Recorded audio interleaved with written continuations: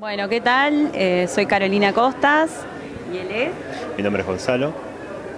Bueno, vinimos a presentar acá al festival El Tesoro de Aurora sobre la temática del abuso sexual infantil y básicamente, para resumirlo, sería no sos lo que hicieron de vos, sino lo que haces vos con eso. El proyecto nació, en realidad el, guion y la idea original es de acá la señorita, tenía un guion este, para un largometraje y a la hora de, sus ganas de revivir el proyecto este, nos agarró a nosotros en pareja y entonces me hice cargo de, este proyecto y fue bueno rearmarlo, fue a hacer un guion de, cortometraje en vez de un largometraje.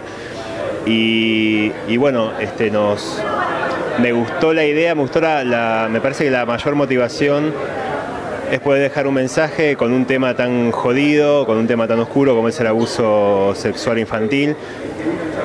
Y más allá de eso también un, tema personal eh, que, la, que la ata a, Caro con, con la historia, era como una doble o triple responsabilidad pero la verdad que contento de, que el corto se haya hecho un lugarcito acá en el festival o un gran lugar en el festival y estemos nada más y nada menos que compitiendo, lo cual es, es una sorpresa muy grata y me toma por sorpresa porque es, el primer cortometraje y la primera película que yo me que hago este, y la verdad que estamos, estamos como muy emocionados y estoy muy contento sobre, sobre todo que esté acá.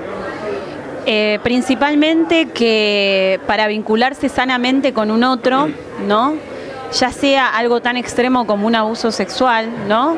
Que uno busca excusas, yo soy una mala persona porque me pasó determinadas cosas en mi vida. No, no buscar excusas, empezar a buscar desanarse, enfrentar la situación y no evadirse para poder encontrarse y por ende vincularse sanamente con un otro y en este caso con su tesoro. ¿No? que puede llevarse eh, a varios planos. Pero eh, principalmente eso, que, siempre hay un camino para salir y depende de uno de salir.